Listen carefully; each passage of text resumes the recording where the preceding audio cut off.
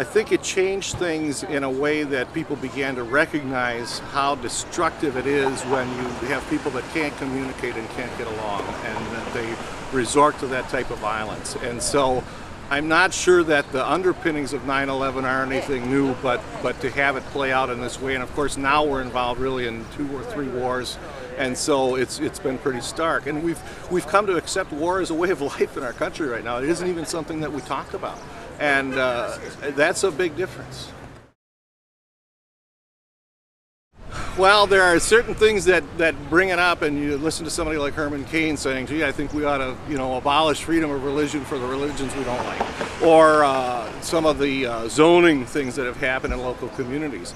This is an important part of our Constitution, and we need to do that. And I think by uh, continuing to separate ourselves and draw these uh, polarizing conclusions, we're creating an environment where more of this will happen in the future.